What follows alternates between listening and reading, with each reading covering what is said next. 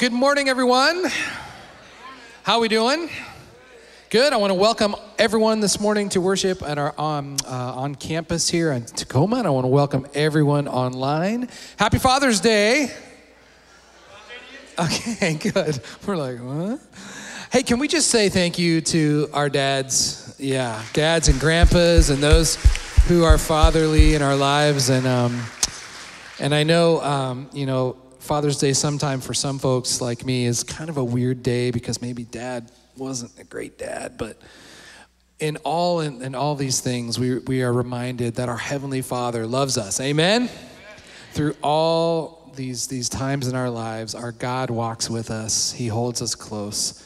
And, um, and so that's why we're here to worship today. And so I'm going to invite you to stand. And um, as we come before the Lord in worship today, let us welcome our Heavenly Father. God, we thank you that you are the best Father we could ever have, Lord, that you give us the ultimate example of what fatherly love should be. And Lord, you, you found us in our sinfulness, Lord, when we had broken re- the relationship with the garden and we deserved punishment. Lord, you came up with an incredible plan to restore us to yourself, and that's what we sing about. That's, what, that's why we come to worship you today, our Abba, our Daddy, our Father, whose love never fails, whose heart is huge, and whose love is as wide as the east is from the west, from the north is to the south. I thank you, God, for those men in our lives, Lord, who were fathers to us whether they were our earthly dad or grandpa, or maybe it was an uncle or a coach or a teacher, Lord, who poured into our lives. We thank you for that influence. We pray today as we worship God that we would be fatherly to others, Lord, that we would model the kind of love that you modeled for us. We love you, God. We begin our time together in the name of the Father, Son, and Holy Spirit.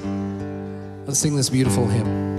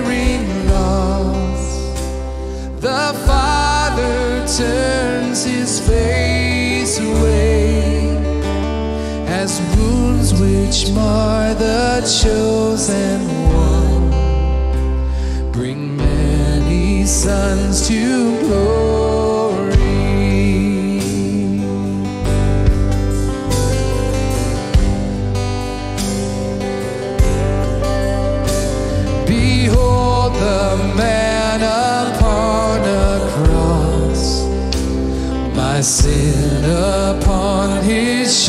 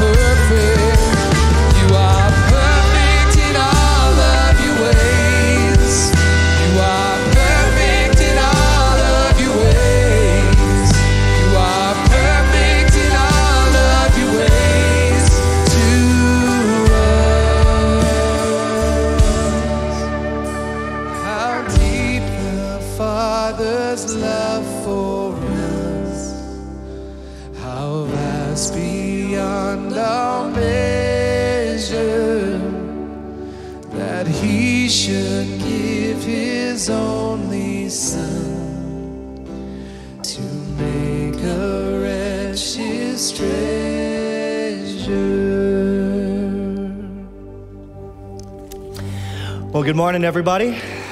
Good morning. It's good to welcome you here. I'm Pastor Tim. And indeed, the Father's love, God the Father, is seen in the person and work of Jesus, our Savior, who comes to earth, who dies on the cross to forgive your sin, to pay the debt and penalty of your separation from God and mine and brings us together. And that's the new life that we celebrate here today. And just in just a moment, we're going to share communion. But first, I want to share this verse from Galatians chapter 3. Now faith has come, and we are no longer under a guardian. For in Jesus Christ, we are all made sons and daughters of God through faith. For as many of you who were baptized into Christ, you have put on Christ. Let's prepare our hearts to receive this meal. Just bow your heads with me and reflect on these questions today. Uh, do you believe that you need Jesus because we were born sinful, separated, in need of the love of God?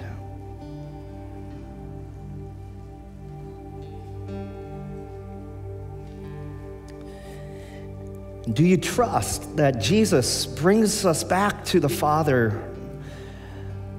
That by his suffering and death on the cross and his resurrection on Easter morning, that that is for you.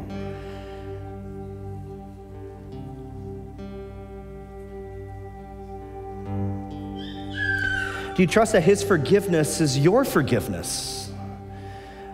That there's forgiveness for all people, but yet individually that we are loved and valued and forgiven.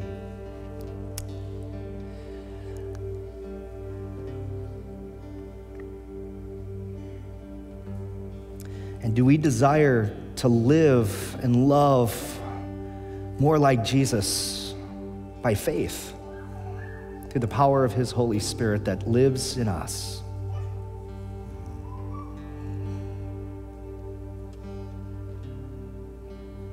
Father, Son, and Holy Spirit, indeed, it's by your power that we say yes to all these things. Lord, forgive us in our thoughts and our words and our deeds. Renew us and lead us so that we may delight in your ways and live lives that look more and more like your Son, Jesus, in whose name we pray. Amen.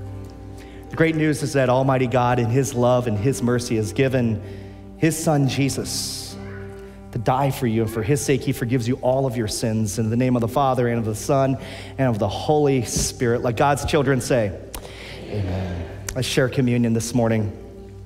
Jesus, the night He was betrayed, took bread. He gave thanks, gave it to His disciples. And He said, Take and eat. This is my body that's given for you. Do this in remembrance of me. Take and eat the body of Christ that's given for you.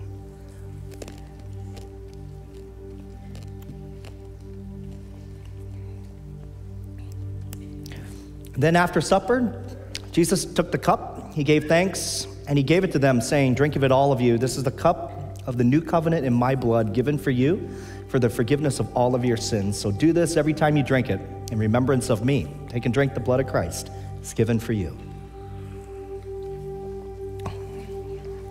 see some kids. If you have kids at home, you can place a hand on them. And we pray, Holy Spirit, continue to grow their faith and trust in Jesus every day until they see you face to face. In Jesus' name, amen. Peace of the Lord be with you always. We have a Father who invites us to run to Him um, no matter what we're facing in life. And so this morning we want to introduce a new song, um, and this is how the chorus goes. I run to the Father, I fall into grace. I'm done with the hiding, no reason to wait. My heart needs a surgeon, my soul needs a friend. So I run to the Father.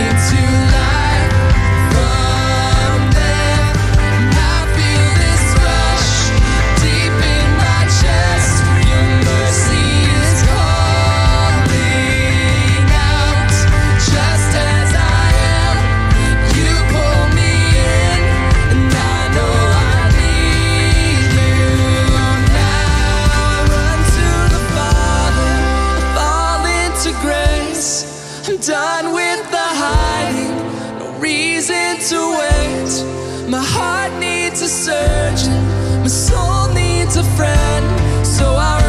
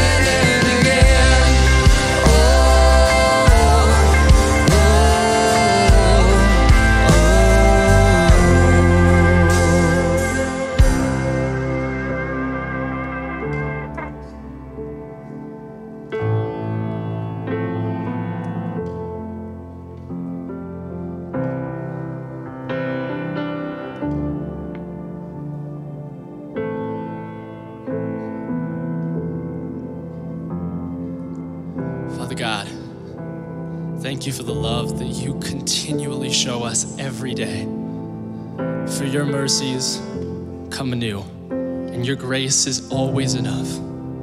You are our Heavenly Father, and God, we thank you that no matter how we may fail each other, you love us perfectly. You look at us with the Father's eyes, and you love us with the Father's heart. As we run to you and your mercies, and you welcome us with open arms, God, we thank you for that unfailing love and that prayer that you taught us to pray. Our Father, who art in heaven, hallowed be thy name. Thy kingdom come, thy will be done, on earth as it is in heaven. Give us this day our daily bread, and forgive us our trespasses, as we forgive those who trespass against us. And lead us not into temptation, but deliver us from evil. For thine is the kingdom, and the power, and the glory, forever and ever. Amen. Brothers and sisters in Christ, because of his love, we proclaim the faith that we have in Jesus this morning through the words of the Apostles' Creed. I believe in God, the Father Almighty, maker of heaven and earth, and in Jesus Christ, his only Son, our Lord, who was conceived by the Holy Spirit, born of the Virgin Mary, suffered under Pontius Pilate, was crucified, died, and was buried. He descended into hell. The third day he rose again from the dead. He ascended into heaven and sits at the right hand of God the Father Almighty. From thence he will come to judge the living and the dead. I believe in the Holy Spirit, the holy Christian church, the communion of saints, the forgiveness of sins, the resurrection of the body, and the life everlasting. Amen. I'm Dream Hoff, the Kids and Women's Minister here at Our Savior. I want to welcome you to our children's message.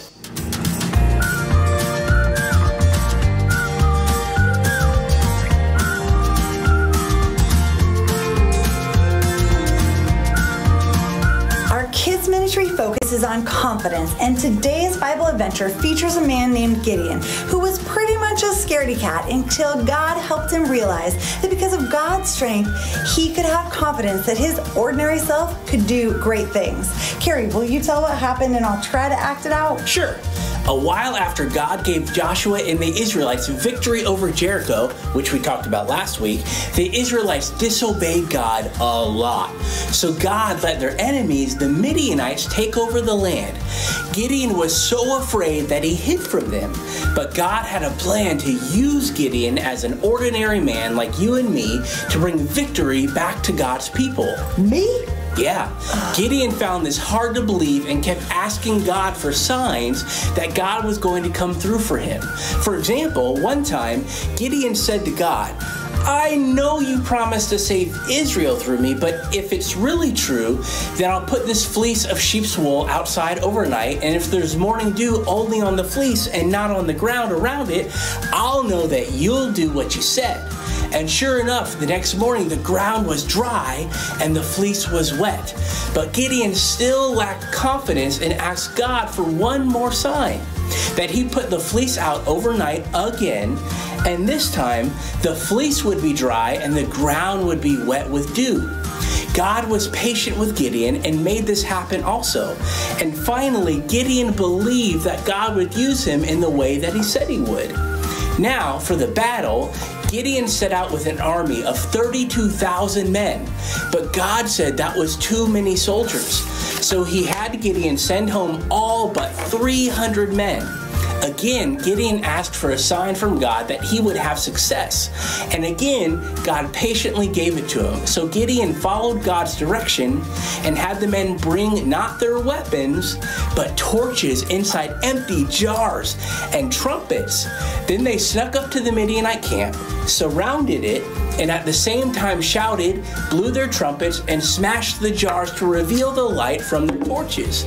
God put the Midianite army into such a panic that they turned on each other with swords or they ran away. Only God could have brought the victory in that seemingly impossible way. Thank you, Carrie. You are That's welcome. how God led an underdog, an ordinary doubtful guy, and 300 soldiers to defeat an entire enemy army. Our bottom line for today is that God can use you no matter what. Remember last week when we talked about how God's plan is always the best plan? Well, His plan is to use you and me to do amazing things for Him and others. And we all have an important purpose, whether we realize it or not, and whether we feel worthy or not. Gideon wasn't sure he was the right guy for the job, but God used him to do big things, and God can do big things through us too. Let's pray. You can repeat after me. Dear God, Dear God, thank you for being a God thank you for being a God who uses ordinary people who uses ordinary people like Gideon and me like Gideon and me to do extraordinary things. to do extraordinary things. In Jesus' name. In Jesus' name, Amen. Amen. For more Bible fun and conversation starters with your family, head to the section called Sunday School at Home in today's Kid News email. Happy Father's Day to all those dads, grandpas, uncles, and others who love and care for kids. You are so important. Have a great week, everyone.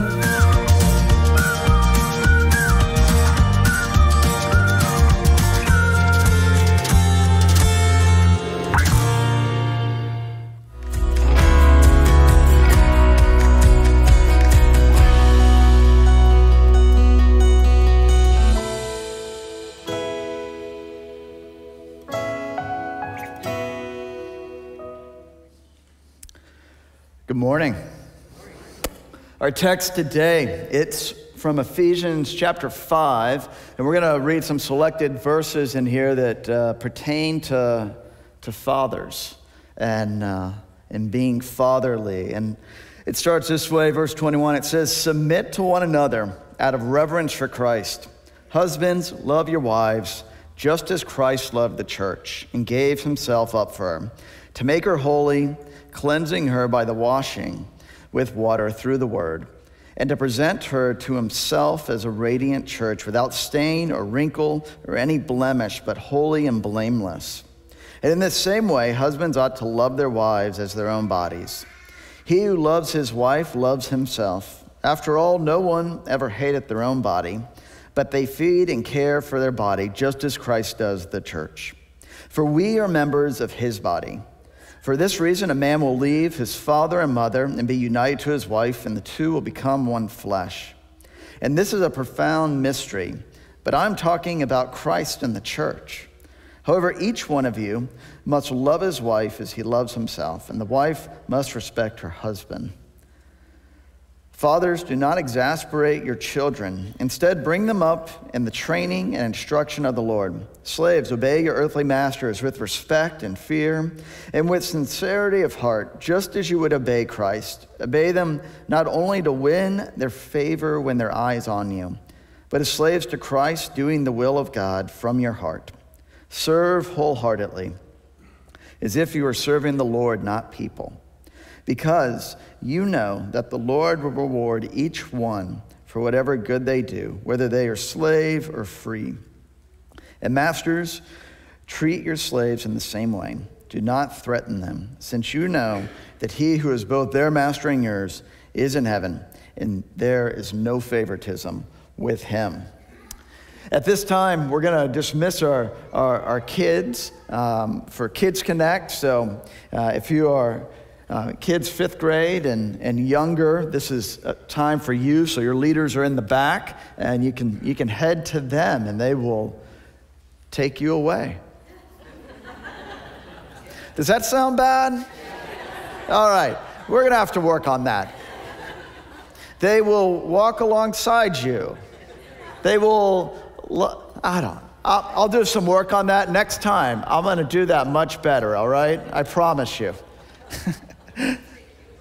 Let's pray. I need help.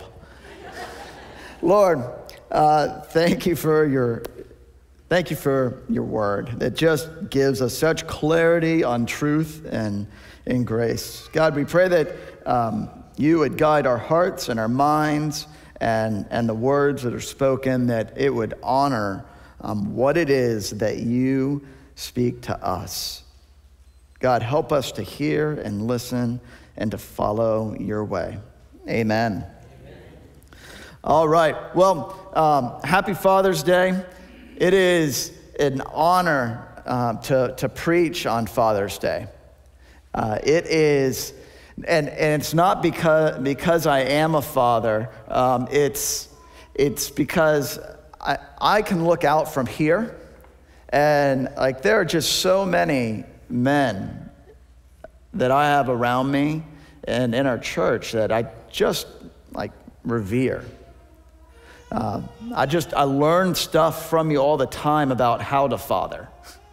Uh, there's things that you know I'm I'm watching and I'm I'm seeing how you handle things. I'm, you know, there's some things I'm like, I'm not there yet, but I know that one's around the bend, and so I need to, I need to study up a bit. Uh, and there are just, you know, there are just men in this place that are fatherly towards me, and, and I appreciate you guys so much. Um, you're a blessing to me and my family and my neighbors and, and anyone else who has to encounter me. Um, and so, just maybe simply just starting today with, uh, you know, thank you to, to my own dad, to my own father, and to, to all the men that are fatherly towards me. Um, you, are, you are much appreciated, and uh, you're a greater blessing than you, you know. Now, isn't there something with Father's Day that just brings out a lot of thoughts and feelings and emotions and memories? I mean, maybe, maybe it brings up memories of, of some really uh, wonderful times together or some really cherished moments that you had with your father or, um, or with your kids. And, and that's all, that's just what you think about. Uh, maybe, maybe you, you have thoughts and, and feelings of, well, a dad that might not have been very present or, or a relationship that was really rough or non existent. And, and it's a, it's a, a bit of a sadness. It's a, it's a bit of a, a hole. Uh, maybe there's, it, you know, Father's Day brings about the feelings of, of knowing that, you know, there's a, I, I have a father that's, that's no longer walking the earth with me anymore. And, and just uh, that sense of like, man, I just miss them. Maybe yeah, at Father's Day, you think about you know, some of the other men in your life that have just become fatherly to you, that have been so critical in caring for you and helping you learn your way. And there is there are so many emotions and feelings from fatherhood. Maybe, oh, maybe it's, you know, fatherhood is, is a, um, an unrealized dream. Maybe it's, you know, you, it's something you're like, man, I, I wish we had a kid. Um, and it's just an unrealized dream. And there's, there's so many thoughts and feelings that, that happen around days like Father's Day um, and Mother's Day, uh, these familial holidays. Um, and it's because of this, because we ascribe much about who we are and where we fit and what we do from our fathers. There's much about who we are and where we fit and what we do that we ascribe from our fathers because they tell us part of the story of who we are. They tell us, you know, a story of where we fit in and how we're part of something bigger than just ourselves. It's so fitting that the Lord is known as Father. And what does the Lord do? The Lord tells us a bigger, grander story than just ourselves. That there's something bigger that we're a part of, that He invites us into. And He helps us understand who we are and where we fit and what we do in life. Throughout the sermon, we're going to come back to this coming phrase, and we say this kind of in a broad sense, not a, not a very specific one, but a broad sense. But, but being fatherly is about what you do with imperfection, not perfection. Being fatherly is about what you do with imperfection, not perfection. Uh, perfection's kind of one of those tricky things. Sometimes it, it feels like, well, I want to do things as best as possible. And that can so easily morph from, I want to do things as best as I can, to, Well, if it's not perfect, it's not worth it. Or if I can't be perfect in this, then it's, it's not valuable to anyone else or to me. And this is one of those phrases we're going to come back to throughout this message because being fatherly is so much about what we do in, with imperfection, not perfection, not a perfect performance. Because being fatherly is more about being with than doing exceptionally well. I'm not saying that doing well doesn't matter, but being with is what being fatherly is more about. And we need, we need this because the world, the world is longing for more fathers who resemble the Father. The world is longing for more fathers who resemble the Father, who are godly, who, who live and lead sacrificially and, and love without conditions. And they find just a, an enormous sense of joy in that and purpose in it. The world is longing for more fathers who resemble the Father. And it's not a new problem. This is something that has gone on for all of time. I mean, even in Scripture, we see this. Paul writes this I'm writing you this not to shame you, but to warn you as my dear children. Even if you had 10,000 guardians in Christ, you do not have many fathers. For in Christ Jesus, I became your father through the gospel. Therefore, I urge you to imitate me. For this reason, I have sent you Timothy, my son, whom I love, who is faithful to the Lord. He will remind you of my way of life in Christ Jesus, which agrees with what I teach everywhere in every church. And speaking about the Lord, this is what the prophet Hosea writes. He says, For in you the fatherless find compassion in you, the fatherless find compassion. The heart of the Lord is right here. The fatherless find compassion. We also see this when we, we look in Psalm. This instruction here defend the weak and the fatherless, uphold the cause of the poor and oppressed, rescue the weak and the needy, and deliver them from the hands of the wicked. I hope as you hear this, you hear this not with a sense of guilt. This isn't said with a sense of guilt. It's a, call, it's a calling to something of great significance, is what it is. It's not a, it's not a hey, you know what, Dad? You're doing all right, but let's pick it up. It's not the, hey, this is all, this is pretty good, but it's just pretty good. This is not guilt, what Scripture speaks to about being fatherly. It's a, it's a calling up, it's a calling to great significance. It's a calling of the Lord inviting you to be part of what He's doing in the world.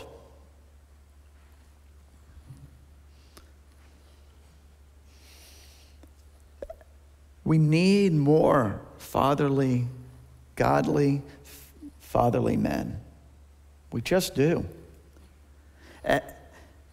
And they're in our midst. And it's not just young people, right? It's not just, it's not just kids. It's people of all ages need a fatherly role in their life. You know, There's a, a quote um, that um, the pastor leader Andy Stanley says often. He says, um, Do for one what you can't for many.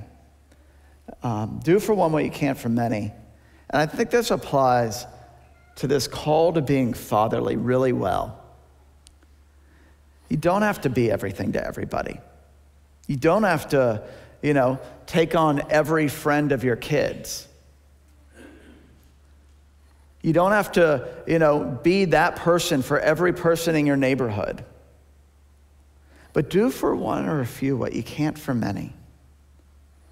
Be fatherly for someone. It, you, don't need, you don't need to take, I'm, I'm not asking you to, like, hey, I got a list of things I got to do here on Father's Day now, type thing. but being fatherly, it's about what you do with imperfection, not perfection.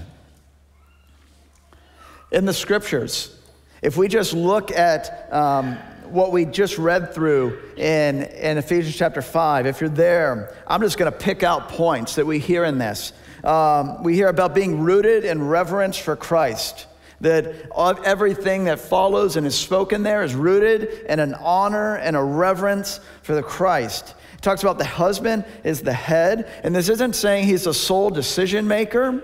Um, this when this is spoken of in, in Greek, I, have I've heard and read on this it is, it is more in like a military sense and being at the head of the charge and being the one that is saying, I will willingly be the one that will sacrifice, that will put myself at the greatest risk for the love of the body.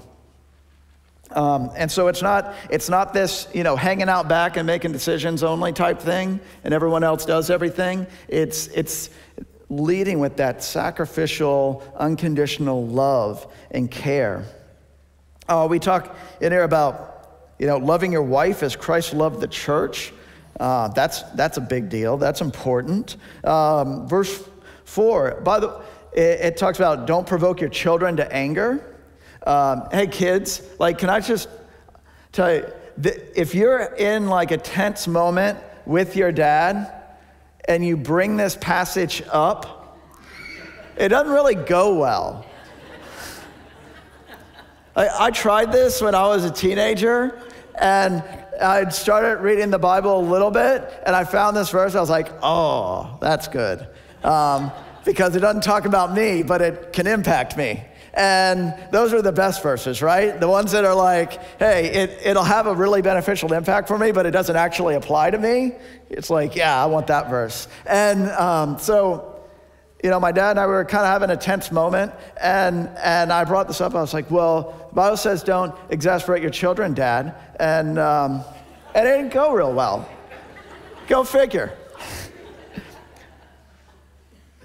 but don't provoke your children to anger, but bring them up in the training and instruction of the Lord. Show them the way of Jesus.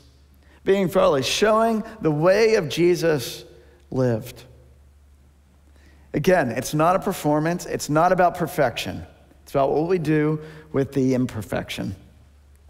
In this, um, serve wholeheartedly, as if you were serving the Lord, not people. Talking about our relationships and in, in work. Um, serve as you're serving the Lord. It's awesome. That's great. I think this verse in 1 Corinthians sums all of this up really well. It says, Follow, Paul writes this, follow my example as I follow the example of Christ. Follow my example as I follow the example of Christ. Now, you know what's not in these verses? There's nothing in here about perfection. There's nothing in here about performance and grades. There's nothing in here about being everything to all sorts of people. It's not in there. And this is probably, this section in Ephesians, this is probably the most like um, exhaustive list of instructions for fathers it's not, perfection isn't in there, not needing to impact everybody. That's good news, right? Like, that's really good news. There's a saying that Paul has in 2 Corinthians says, if anyone is in Christ, they're a new creation. Through faith, through baptism, in Jesus Christ and his life, death, and resurrection, you are made new. God is making all things new, and he invites us to be part of it. He invites us to be part of what it is that he's doing. Follow my example as I follow the example of Christ. Paul is not saying, I've got it down. He's saying, but follow me because I'm following the Father. Being fatherly, it's about what you do with imperfection, not perfection. So, where do we go from here? What are, what are some ideas of things that um, we, can, we can practically apply some of this with? Uh, the first one is this just start. That's it? I know, that's what you pay for, right? Stuff like this. Real wisdom. Um, but just start. It's so important, like just starting. You don't, you don't have to plan it out and have this elaborate, like, man, this is the 18 steps to fatherly success. Um, I don't even know if that exists, but who has the time to read that or would read it? I mean, it, just start. You don't, need to, you don't need to have it all figured out. Just start. It's so important to just start. Second thing is that this phrase, we use this during the generation series. It's never too late, it's never too early. It's never too late, it's never too early. Perhaps you have a, a strained relationship um, with someone that you, you you're fatherly towards, or with one of your own sons or daughters. And it just feels like, man, this is, it's too late. Or I missed the boat. It's never too late. It's never too late. Or maybe you have, you know, um, like babies around you, and there's, uh, or, you know, either in your own house or, or, or in a friend's house, and, and you're like, I mean, that's, that's cute and all, but let me know when they can talk and have a conversation. Start early. It's never too early. It's never too early. Some of those conversations you might be waiting on just won't happen if you don't start early. It's never too late, it's never too early. All right. Next one is this I'm sorry, forgive me. This like works 99% of the time. Um, in your imperfection, I'm sorry, forgive me. It, all, it like almost always works.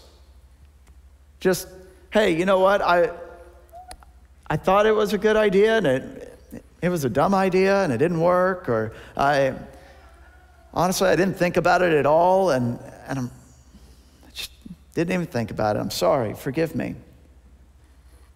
Now, like, this doesn't fix everything, but this, this, this moves the ball down the, down the field a little bit. It's so important. It's part of being fatherly is, is letting others know, hey, when I messed up, I messed up. Letting them know. It's, and by doing this, this is actually like exemplifying and, and giving the example of, of that it is about what I do with the imperfections. It isn't about perfection. we got this one tell them everything they are instead of everything they aren't. This is really important. You know, you can do this today. Tell, the, tell your, your fathers, the people that have been, are fatherly in your life, tell them everything they are. And you know what? You don't even have to just do this on Father's Day. Like, this actually works every day. Um, Believe it or not, it's really useful. But most people don't know the impact they have on you. They just don't. Tell people what, why they matter. Tell them everything that they are. And the last one of where to go, kind of from here with this, is, is do the next best thing you know to do. It's you don't need the silver bullet. It's not, not everything happens at once. Not everything gets fixed at once. Not everything gets accomplished at once. Just do the next best thing you know to do. Because it's what we do with our imperfections. Being fatherly is about that. Guys, I am just, I am humbled to be in the midst of so many amazing men. I truly am. I'm not saying you're amazing because of your performance. It's because of how you handle yourself as followers of Jesus.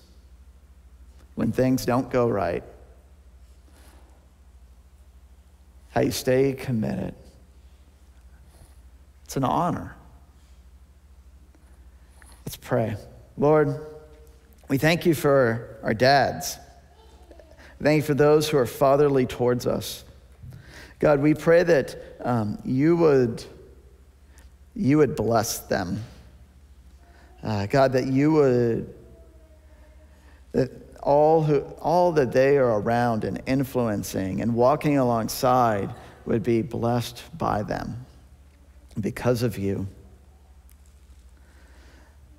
Lord, we, we thank you for showing us the way, the way, the truth, the life that is Jesus Christ. Lord, we ask this in your name. Amen.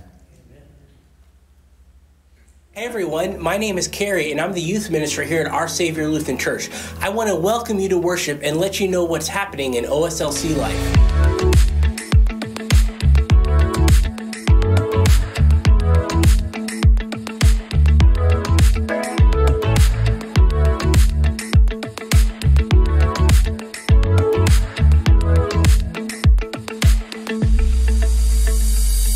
VBS is only a few short weeks away, and we want you and your family to join us either on June 28th and 30th or June 29th and July 1st here at our Tacoma campus. Our VBS theme is treasured as we embark on an epic quest to discover how valuable we are to God. Our evening VBS will be from 6 to 8 p.m., and there are a few spots open, but it's filling up fast, so don't miss out. Remember that each family needs to be accompanied by at least one adult, and registration can be found at oslc.com/vbs. We are so glad you came to worship with us today. For more info on all the other exciting ministries happening at our Savior, check out our central hub at oslc.com or download the OSLC app at oslc.com/app. As we go today, let's thank God that He is our eternal Father and that His love for us never ends as adopted sons and daughters of the King. Remember that He's with us this week as we love God, love people, and live like Jesus.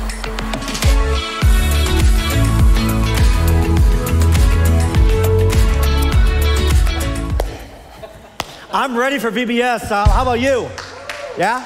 Hey, uh, know you are loved, you are treasured, and if you are available, if you, your kids, your grandkids, your neighbors, we still have spots, all right? So check it out, oslc.com. I cannot reiterate it enough coming out of sort of what, what I'm calling pandemic isolation, how good it is just to have opportunities to come together safely and wisely like, uh, like VBS. So uh, if you want to check that out, do so. We also have a virtual option coming up in August for you and your neighborhoods. Maybe, maybe you live uh, more remotely, especially those of you online. Uh, we want to make it accessible online later this summer for you to invite your neighbors to your place or to a public place like a park and do the same. All right? It's all about sharing the love of Jesus with others. All right? Hey, next week, kicking off a series on Philippians. Any of us need to find joy? Yeah, yeah, yeah. Uh, Philippians. It's all about joy. We're going to dig into it. Bring a Bible, bring a friend. Excited to be there with you this summer. All right, hey, let's stand as we are sent. We are sent. You and I, we are sent with the love of Jesus to live out the love of Jesus with people. So go with this blessing. The Lord bless you and keep you. May the Lord make his face shine on you and be gracious to you. The Lord look upon you with his love and his favor and give you his peace that surpasses all understanding now and forever. Amen. Amen.